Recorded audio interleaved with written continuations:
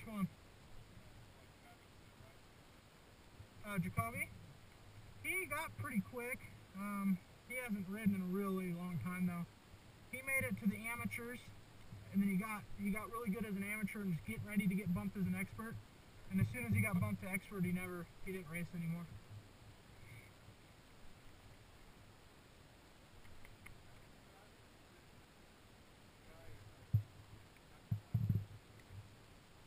Fast, way fast. He's averaging. He's doing all the stuff we're doing at a faster pace, and he's doing it the whole race. That's how fast he's going. I I don't know what an average is, but probably five. I don't know. He, he's just doing everything quicker. He's able to cut corners and not make mistakes, and he's just in better shape. And I'll answer that later.